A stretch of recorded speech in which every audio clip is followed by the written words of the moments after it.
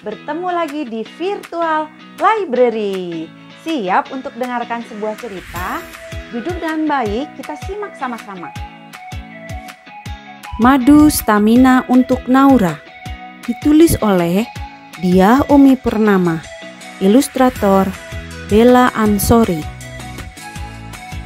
Hari Senin saat upacara bendera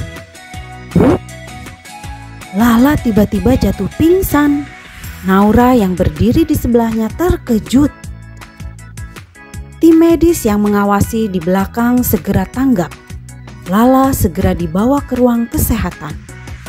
Naura diminta membantu mengangkat tanduk.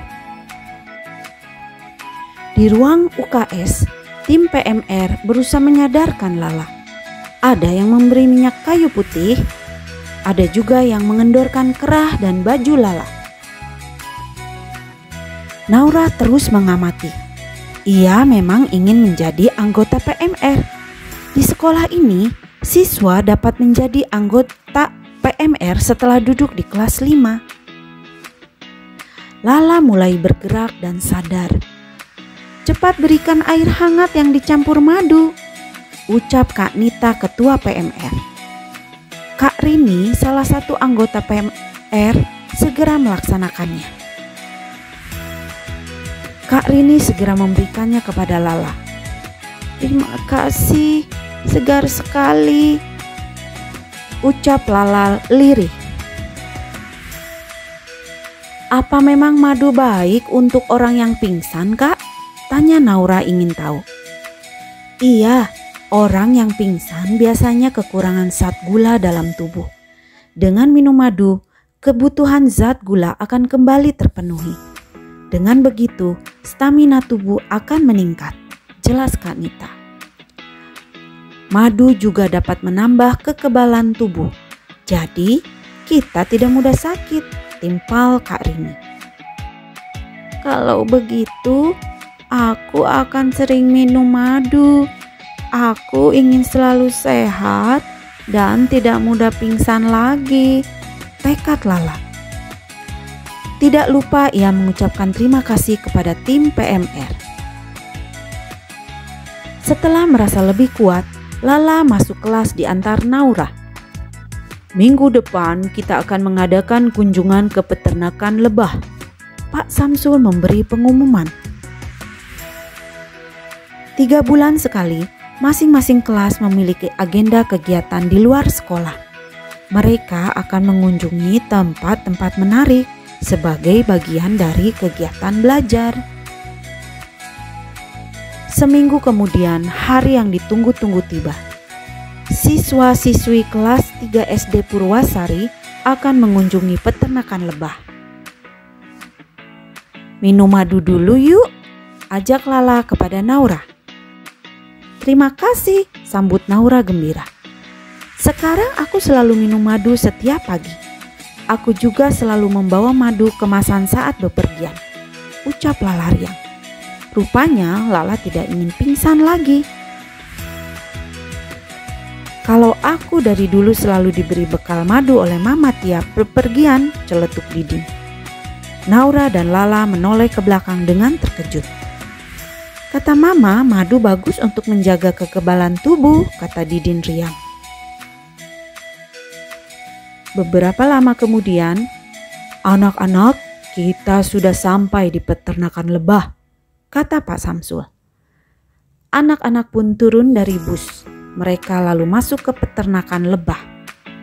Peternakan lebah Madu Legisari. Anak-anak disambut oleh Pak Wibowo, pemilik peternakan lebah. Mereka diajak berkeliling melihat kegiatan di peternakan lebah. Madu berasal dari nektar atau sari bunga yang diambil oleh lebah. Jelas Pak Wibowo. Peternakan ini juga membudidayakan perkebunan kelengkeng. Oleh karena itu, Madu yang dihasilkan adalah madu dari bunga kelengkeng. Setelah nektar diambil, lebah kemudian membawanya ke sarang. Di sarang ada lebah lain yang siap mengambil alih nektar yang dibawa dari luar. Selanjutnya, lebah tersebut mengolahnya menjadi madu. Terakhir, madu disimpan di sarang. Pak Wibowo menjelaskan dengan semangat. Bagaimana cara kita mengambil madunya, Pak? Tanya Lala. Caranya, sarang lebah perlu dimasukkan ke dalam alat yang disebut ekstraktor. Ini, jelas Pak Wibowo. Selanjutnya, madu tersebut ditampung dan dikemas. Produk andalan kami adalah madu botol dan madu saset kemasan. Siapa yang dapat menyebutkan manfaat madu? Nanti Bapak beri hadiah. Pak Wibowo membuat kuis. Madu dapat menambah stamina, Pak. Itu karena madu memiliki kandungan zat gula yang tinggi, kata Naura bersemangat. Ia ingat penjelasan Kak Nita saat Lala pingsan. Benar, Pak Wibowo berkata senang. Ada yang tahu manfaat lainnya? Madu bermanfaat untuk meningkatkan kekebalan tubuh, ucap Lala dan Didin hampir berbarengan. Pak Wibowo tertawa melihat semangat Lala dan Didin. Pak Wibowo menepati janjinya. Ia memberi hadiah kepada Naura, Lala, dan Didin. Masing-masing mendapat satu kotak besar madu kemasan. Ketiganya lalu membagi-bagikannya kepada teman. Hari itu, anak-anak pulang dengan gembira mereka mendapat pengetahuan yang sangat bermanfaat tentang madu. Informasi tentang madu. Madu adalah cairan alami dari nektar atau sari bunga yang dioleh oleh lebah madu. Madu memiliki rasa manis. Minum madu memiliki banyak manfaat sebagai berikut. Menambah stamina. Madu memiliki kandungan glukosa yang tinggi Glukosa merupakan zat gula karbohidrat sederhana yang cepat serap tubuh. Minum madu turut menyumbang kebutuhan karbohidrat tubuh.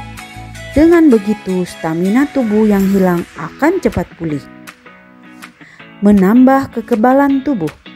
Minum madu dapat merangsang sistem kekebalan tubuh untuk melawan penyakit.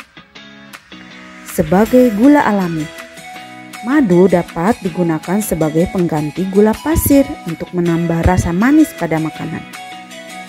Pengganti cairan tubuh. Dalam madu terdapat kandungan air. Oleh karena itu, madu dapat digunakan untuk mengganti cairan tubuh yang hilang. Sekian ceritanya.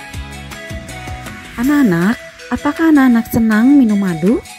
Ya, madu selain sehat juga dapat menambah kekebalan tubuh kita, apalagi pada saat pandemik seperti ini. Sekian ceritanya, nanti kita sambung dengan cerita yang lainnya.